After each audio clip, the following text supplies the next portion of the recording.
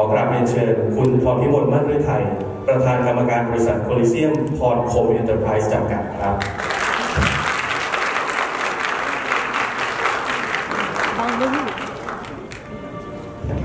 ท่านที่สองนะครับ ขอกราบเรียนเชิญ คุณจักรวาลเสาธงยุติธรรม music director ของงานหรือว่าพี่หนึ่งจักรวาลครับ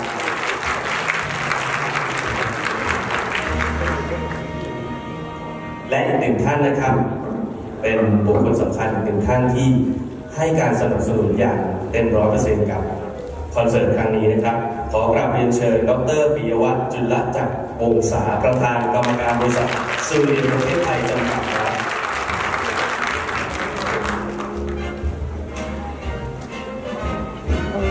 กราบสวัสดีคุณปอพิมลนะครับพี่หนึ่งจักรวาลแล้วก็ท่านดรปิยวัฒน์นะครับผมงานวันนี้ก็ทั้งสามท่าน อยู่บนเวทีกับเราแล้วในบรรยากาศงานแถลงข่าวในวันนี้นะครับเอ่อก็ท่านแรกผมอยากจะกราบเรียนถามคุณปอพิมลวัฒน์ไทยนะครับ ในเรื่องของจุดประสงค์ของการจัดงานคอนเสิร์ต 99 ปีบูชาลินเทอร์พิจิตรครับผมมายอาจจะใช้ยากนิดนึงนะครับ เพราะว่าเราต้องใส่เฟซชิลด์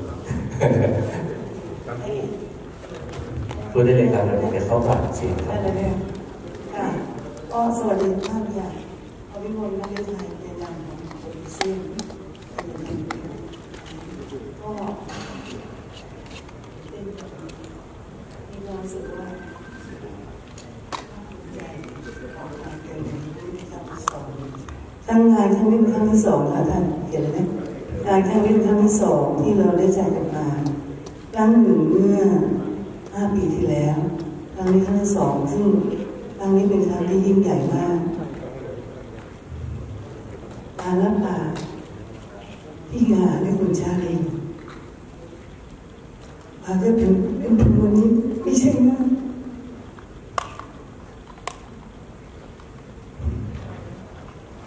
เออจริงๆแล้วท่านป่วยอยู่มากความผูกพันความรู้สึกกับคุณชาลีนี้ มันประเมินไม่ได้ สิ่งที่พี่คุณชายอยากอยากรู้ อยากเห็น อยากให้เกิดก็คือคอนเสิร์ตความพิบูลพยายามมากที่จะทำให้ได้ แต่เมื่อเวลาผ่านไปเออพอหลังจากที่ป่วยมากก็ได้หาเลยเอ๊ะจะทำยังไงเดีกับคุณชาลีที่เราจะจัดคอนเสิร์ตได้ครั้งนี้ ขับรถเยี่ยมขากลับขับคิดมาตลอดเอ๊ะจะทำยังไงให้เกิดตัวนี้ขึ้นมาได้ ก็จะโทรอยู่สองท่านหนึ่งจะรันจะทำไงดีกับการที่เราจะทำสองเป็นจำลองพี่จำลองพี่ฉันอยากได้คนหนึ่งเนี่ยจักรวาลอยากจะทำตัวนี้ให้พี่นาคุณชัยได้ชื่นใจอ่าคุณจำลองบอกว่าพี่ผมพี่โตเกียรู้จักกับหนึ่งอ๋อแล้วดีจังเลย ถ้าอย่างนั้นช่วยประสานให้หน่อยเถอะก็เป็นที่มาที่ไปของวันนี้ที่ได้เกิดงานขึ้นขึ้นมา มันเป็นสิ่งที่ความมุ่งมั่นและความตั้งใจเป็นผลค่ะ แล้วก็งานนี้ได้เกิดขึ้นมาได้ข้อส่วนหนึ่งก็คุณหนึ่งคุณหนึ่งเป็นคนที่ได้รับมากเป็นสิ่งเป็นคนที่อนุรักษ์เพลงไทย ต่อยอดแล้วก็เดี๋ยวแรกเนี่ยมีความรู้สึกประทับใจมากๆเลยหนึ่งเขาจะเป็นคนที่น่ารักมากๆแล้วก็ชื่นชอบเพลงของคุณชาลี คือเป็นเพลงที่อมตะก็เลยบอกว่าถ้าโอเคถ้าอย่างนั้นหนึ่งถ้าชื่นชอบหนึ่งก็สื่อค่าจินตนารมณ์ของคุณชลีออกไปเพราะว่าในสิ่งที่คุณชลีไม่ผิดหวังส่วนนี้เราพูดกันแล้วเป็นผลงานออกมาสิ่งที่เราเราจะขาดไม่ได้ก็คือสถานที่จัดสถานที่จัดหาไม่ได้ง่ายในยามโควิดเช่นนี้เราก็ สิ่งที่เรารู้มากับว่าท่านประธาน ท่านประธานสุเรียนเนี่ยคือดอกเตอรอีนคือจำชื่อไม่ได้ก็ต้องครับผมดรดรปิยวัฒน์ครับจุลจักรวงศาท่านก็ให้คำปรึกษามาตลอดพี่จะเอาอะไรเอาอะไรทำได้ทำได้ตลอดเลยท่านน่ารักมากเลยอะเพราะว่าความที่ท่านให้มาตลอดเวลาไอ้พอเราจะคุยกันหนึ่งทีก็โทรหาเลยประธานหนูจะจัดแล้วนะเอาเลยพี่ก็เป็นสิ่งที่ การเกิดขึ้นมาของคอนเสิร์ตในครั้งนี้ก็ในครั้งนี้เนี่ยสิ่งที่เราต้องขอบคุณมากๆก็หนึ่งคุณหนึ่งจักรวาลครับและก็ดรดรปิยวัฒน์ปิยวัฒน์นะครับค่ะถ้าขาดไม่ได้เลยก็ไม่มีสองท่านนี้ แล้วก็สิ่งที่เราหาเลยก็คือคุณจำลองคุณโตที่เราหาเลยตลอดแล้วก็ติ๊กสิ่งนี้ประสานให้ตลอดทุกเรื่อง ให้ความอำนวยความสะดวกทุกเรื่อง งานนี้จะมีผลได้ก็เกิดจากเป็นส่วนที่ประสานให้ แล้วก็มีมีห้องกระไทยเนี่ยเป็นส่วนที่หาเลยตลอดจะไรกันกับตอนก็เราก็จะหาเอ๊ะจะทำยังไงดีเราอยู่ใกล้กัน แล้วก็มีน้องที่คอยให้ความดูแลแล้วก็ปรึกษาหาเลยกันตลอดบางครั้งเราทานใหญ่ๆนี่ไม่ใช่ง่ายเมื่อมาเป็นวันนี้แล้วมันเป็นผลที่อีกไม่กี่วัน เราก็จะเป็นผลที่สำเร็จแล้วสิ่งหนึ่งที่คุณเจริญอยาไปหาว่าเขาก็เขียนเป็นจดหมายมาว่าหลวงฝากขอบคุณนายเดิมแล้วก็ท่านผู้ชม แล้วก็ดาราและนักร้องทุกท่านที่ให้การสนับสนุน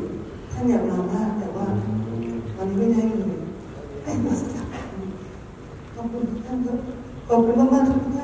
าน น์เรื่องไทยนะครับประธานกรรมการบริษัทโคลิเซียมพรคงอินเตอร์ไพรส์จำกัดนะครับผม ก็พี่ท็อปเตรียมกระดาษทิชชู่นะครับพี่ทายเตรียมกระดาษทิชชู่นะน่ารักนะครับ ทุกคนมาในดูแลฉันตลอดเขาจะโอ้น่ารักนะครับ ทุกคนมาในวันนี้ด้วยความ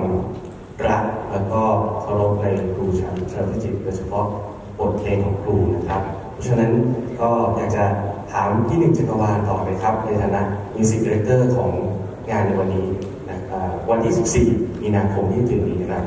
รูปแบบการแสดงแล้วก็เอ่อรูปแบบของดนตรีที่พี่หนึ่งตั้งใจนำเสนอเป็นยังไงบ้างครับถอดเลยพี่เป็นฟังชัดๆปกติพูดไม่ค่อยรู้เรื่องเลยไม่ได้อดอดนอนมาหลายวันนะครับ ครับ เนื่องจากงานนี้นะครับ ผมถือว่างานนี้คืองาน ผมเรียกว่า บูชาครูตอบแทนบุญคุณของครู ที่ให้กับแผ่นดินของเมืองไทยนะครับ ผมไม่คิดฝันนะครับว่าเด็กสลัมคงใจคนหนึ่งซึ่งไม่ได้ผมไม่ได้เรียนดนตรี ผมไม่ได้รู้จักครูชาลีเป็นการส่วนตัว ไม่ได้สนิทอะไรเลย ได้เจอครู จริงๆ แค่เมื่อปีที่แล้วเมื่อเป็นงานเพื่อครู แล้วผมก็บอกทางทีมงาน ว่าผมขอครั้งหนึ่งในชีวิต เพราะผมไม่รู้ว่าชีวิตนี้เกิดมา จะได้เจอครูหรือเปล่า ขอเขาไปกราบครูครับ แล้วก็ผมอะไรไปกราบท่าน แล้วผมอยากจะเจอศิลปินแห่งชาติเจอศิลปินของชาติทุกทุกท่านที่อยู่ในงานนั้นนะครับ ผมถือว่าครูชาลีไม่ได้สอนผมไม่ได้รู้จักผมแต่ผมถือว่าท่านคือครูที่ผมบอกว่าทำไมถึง ว่าท่านคือครู จากเด็กสลับคนเลยครับ ผมเล่นดนตรีโดยการเล่นตามสวนอาหารตั้งแต่อายุอย่างน้อยสิบกว่าขวบผมก็ออกตะเวนเล่นแล้วปรากฏว่าเพลงที่ผมต้องเล่นก็คือเพลงเหล่านี้แหละครับ ในตอนเด็กนะครับสิบกว่าขวบผมไม่ไม่ทราบครับว่าใครเป็นผู้แต่งผมเล่นทุกวันเล่นจนนักร้องด่าทุกวันสิ่งที่นักร้องด่าเพราะว่าผมอ่านโน้ตไม่ออกครับเพราะผมไม่ได้เรียนไม่ได้เรียนดนตรี นักร้องทุกคนก็ด่าว่าเนี่ยมึงต้องไปแกะเนี่ยต้องไปแกะต้องไปฟังเพลงนี้เพลงนี้ แล้วพ่อผมก็สั่งเลยว่าเพลงเหล่านี้แหละลูกมึงเลยเป็นเพลงที่หนูต้องใช้เล่นจนวันตายหนูจำพ่อไว้หนูไม่ต้องเล่นเพลงตามกระแส กระแสช่วงนั้นก็เป็นพวกวงสตรีปกตินแต่ผมเป็นเด็กลูกทุ่งเด็กลูกกรุงที่พ่อแม่ร้องเพลงเหล่านี้ให้ฟังพอโตขึ้นมาสักสิบกว่าขวบแบบยี่สิบก็เริ่มศึกษาครับว่าเพลงเหล่านี้เพลงที่เราถูกนักร้องด่า เพลงที่เราพยายามแกะจากเทปจากแกะจากแผ่นเสียงเนี่ยแกะโดยที่ไม่รู้โน้ตนะครับแกะก็เล่นตามเสียงไปเป็นเพลงของใคร คือส่วนมากเป็นเพลงของครูชาลีธนวิจิตก็ได้ดูแต่ทีวีครับอ๋อเพลงละครเพลงหนังเพลงอะไรทำไมมันเพราะจังทำไมเนื้อเนื้อหาเพราะจังผมถือว่าครูไม่ใช่บุคคลของชาติครูชาลีคือบุคคลของโลก การร้องเพลงรูปรุงเพลงเหล่านี้เป็นการเขียนโดยการใช้วรรณกรรม การใช้บทกลอนที่เป็นกวี ซึ่งโลกเราประเทศประเทศเราผมว่าเป็นหนึ่งเป็นหนึ่งเดียวในโลกที่ประเทศอื่นไม่สามารถทำได้ และผมคิดเสมอว่าในวันนั้นอะตอนรู้สึกของผมผมเล่นเนี่ยผมเล่นเพลงนั้นกำลังดังอยู่ สมมติแสนแสบบ้านทรายของพวกนี้กำลังดังอยู่ ผมคิดเสมอว่า 20 ปีข้างหน้า 30 ปีข้างหน้าเพลงเหล่านี้จะยังอยู่กับเราไหม และก็วาดฝันเสมอว่า ถ้าผมไม่ตายซะก่อน วันหนึ่งถ้าผมมีโอกาส ผมจะนำเพลงเหล่านี้กลับมา และก็มันไม่ไม่ไม่คิดไม่ฝันนะครับ ว่าวันเนี้ยมันจะเป็นหนึ่งจักรวาลไปเองเพราะผมรู้ว่า ผมเป็นแค่นักดนตรีธรรมดาสลับวันนี้จะมายืนอยู่ตรงนี้ผมก็ไม่คิดว่าผมจะเป็น music director จะเป็นยิ่งใหญ่แค่ไหนผมถือว่าผมคือดิน ผมมาจากดินผมมาจากเพลงครู วันนี้ผมมีโอกาสได้สร้างเพลงครูให้เด็กรุ่นนี้ ได้เห็นถึงคุณค่าของความเป็นไทย ได้เห็นคุณค่าของวรรณกรรมไทย ได้เห็นคุณค่าของศิลปินไทย เพราะว่าการร้องเพลงเหล่านี้มันมีเฉพาะหนึ่งเดียวในโลก ประเทศไหนก็ไม่สามารถทำแบบเราได้ ผมรู้สึกภูมิใจนะครับ ที่รายการวันที่สองนำกลับมาแล้วผมได้เรียบเรียงจริงๆ แล้วรายการนี้ผมมีหน้าที่แค่เรียบเรียงเพลงนะแต่ผมบอกรายการว่าผมขอเล่นเอง เพราะว่าก็มีศิลปินในยุคนี้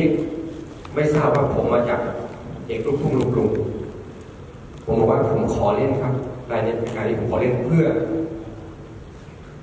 เพื่อเป็นความภูมิใจของตัวเองว่า ถ้าผมไม่เล่นวันเนี้ยไม่เล่นเพลงเหล่านี้ในวันวันนี้ชาตินี้ผมจะได้เล่นอีกหรือเปล่าไม่รู้ผมได้นำให้เด็กๆนักดนตรีของผมทุกคนได้กลับมาเล่นครับเขาเกิดไม่ทันเพลงเหล่านี้นะครับเด็กนักดนตรีของผมแต่ผมบอกเขาว่า สิ่งที่พ่อเนี่ยถ้าสอนเนี่ย มึงเชื่อเถอะเล่นครั้งนี้แล้ว ไม่รู้ชาตินี้ตัวเองจะได้เล่นอีกหรือเปล่าแล้วผมก็มีความคิดเสมอว่าเด็ก เวลาเจอเด็กนักเรียนหรือเด็กรุ่นใหม่จะคิดเสมอว่าเฮ้ยเพลงลูกกรุงโคตรเชยแล้วผมจะตอบกลับไปว่ามึงลองแกะเพลงหรือยังลองแกะดูก่อน ลองแกะแล้วลองมาเรียบเรียง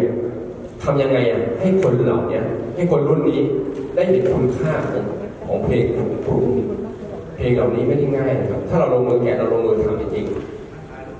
สิ่งที่มันยากสุดคือทำยังไงให้คนยุคนี้ ได้มีความสุขกับเพลงเหล่านี้ทำยังไงให้คนรุ่นนี้ได้ยอมรับกับเพลงเหล่านี้ผมว่าเรื่องนี้เป็นเรื่องยากมากกว่าผมถือว่าปีผมมีความสุขมากแล้วงานนี้พอผมได้ได้ทราบว่าทำเพลงของครู ผมรู้จักกับภรรยาผมครับ เพราะว่าภรรยาเป็นคนรับเรื่องทั้งหมดครับบอกว่าคุณอาพรโทรมา ว่าอยากให้จัดงานให้ครูผมบอกอ้าวครูเป็นอะไรบอกครูไม่สบายโอเคพอไปเยี่ยมครูปุ๊บ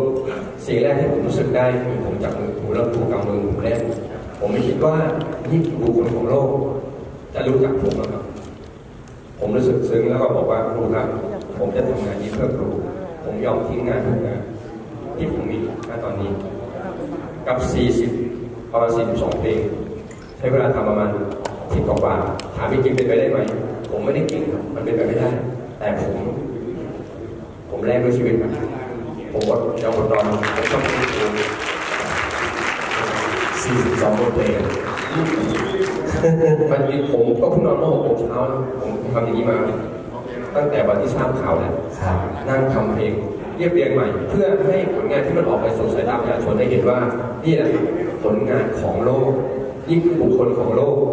และผมดีใจอย่างหนึ่งคือผมได้เจอศิลปินแห่งชาติเจอศิลปินของชาติทุกๆคน ซึ่งบารมีผมจะได้เจอคคลเหล่านี้แหละครับ มันเป็นไปไม่ได้นะครับเด็กที่มาอยู่สลัมที่ไม่มีวี่แววจะเล่นดนตรีเลยไม่ไม่มีอนาคตได้วยซ้ำวันนี้ผมมาอยู่ตรงนี้ผมรู้สึกว่า ผมภูมิใจมากและครับ ขอบพระคุณอ่าในโลกอย่างนี้ที่ทำให้ให้ผมได้มีโอกาสตรงนี้นะครับ ผมรู้สึกไม่ไม่เหนื่อยเลย ก็เป็นความรู้สึกของพี่หนึ่งจักรวาลนะครับ ที่จะมาทำหน้าที่ music director ในคอนเสิร์ต 99 ปีชาลีและสิ่งสำคัญจริงๆ คือผมบอกคุณอาพรบอกทุกท่านว่ารายได้คนที่มาซื้อมาในงานนี้นะครับ อยากให้คนซื้อบัตรมาช่วยครูเพราะผมพูดต่อหน้าสื่อมวลชนทุกท่านว่าผมกับภรรยาผมทำงานนี้ด้วยใจ ผมไม่คิดค่าตัวไม่เท่าไหร่ผมไม่คิดค่าทำเพลงผมไม่คิดอะไรผมไม่ต้องเอาเงินมาให้ผม ทำให้ครู ผมทำเพื่อประเทศชาติได้ฟังเพลงว่าเนี่ยคือเพลงที่เพราะที่สุดของโลกครับเรามีการกล่าวถึงภรรยาของพี่หนึ่งจักรวาลสองสามครั้งแล้วนะครับนั่นก็คือพี่ตุ๊กติ๊กนะฮะอยู่อยู่นั่งอยู่ตรงนี้นะฮะ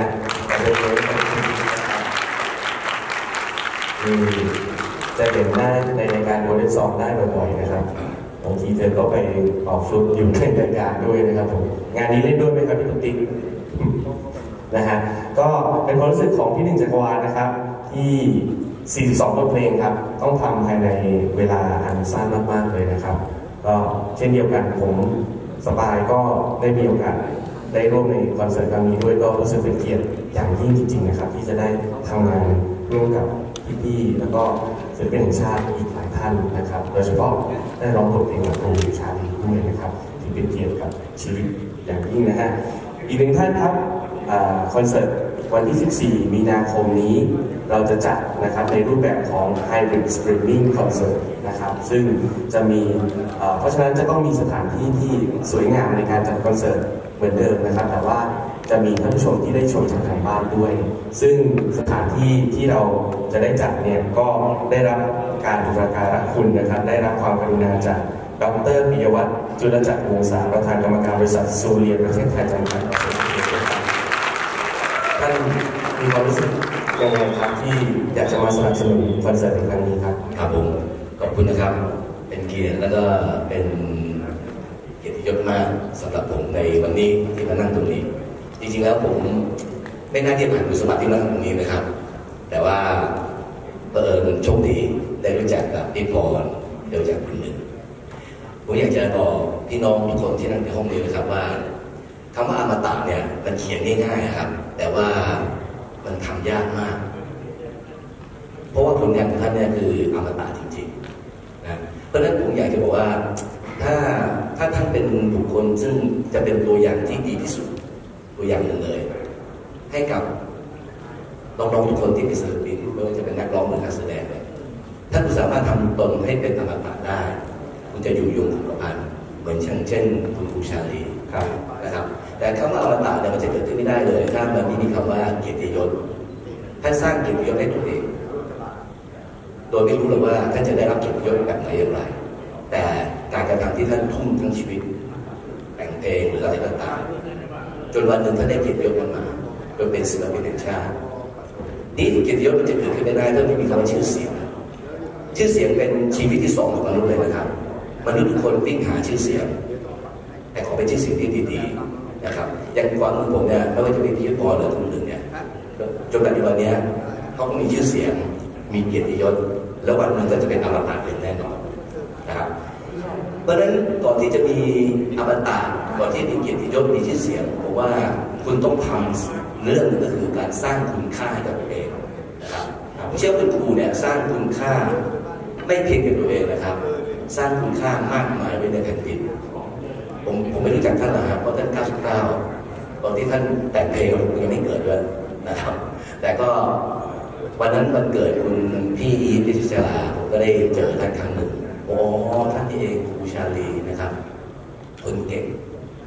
วันนั้นวันเกิดพี่อีทแกยังร้องเพลงได้นะตอนนั้น98นะแกยังร้องเพลงได้แสดงความจำเป็นดีมากนะเพราะนั้นวันนี้เกิดขึ้นที่จะทดแทนบุญคุณของคนคนหนึ่งซึ่งสร้างความเป็นอมตะซึ่งสร้างเกียรติยศชื่อเสียง แล้วก็สร้างความทรงคุณค่าไว้ในแผ่นดินไทยเนี่ยผมว่ามันไม่ใช่เรื่องยากหรือเรื่องยิ่งใหญ่ ผมเชื่ว่าลูกศิษย์หาทุกคนสมควรต้องทำเพราะถ้าไม่มีครู เราคงไม่มีลูกศิษย์ใช่ไหมและยิ่งถ้าเป็นครูที่ดี แล้วก็เป็นครูที่มีลูกศิษย์ลูกหาเต็มแผ่นดินไทยเนี่ยผมว่างานเนี้ยสมควรอย่างยิ่งที่ต้องจัดให้นั่นคนคนหนึงจะอายุ 99 ปีถึง 100 ปีเนี่ยไม่ใช่เรื่องง่ายครับนะฮะเราก็ไม่รู้ว่าเราจะอยู่ได้ขนาดนั้นหรือเปล่านะแต่ว่าผมอยากบอกว่าวันที่ 14 เนี่ยเป็นเป็นเกียรติเป็นศักดิ์เป็นศรีจริ สำหรับคนคนหนึ่งนะครับ แล้วก็ที่ผมดีใจมากคือลูกศิษย์ลูกหาทุกคนอย่างที่คิดพูดผมบอกนะไม่ใช่เรื่องง่ายเลยที่บุคคลด้านหลังที่มีชื่อเสียงทั้งหมดจะไปรวมกันที่บริษัทสุเรียนใช่ครับ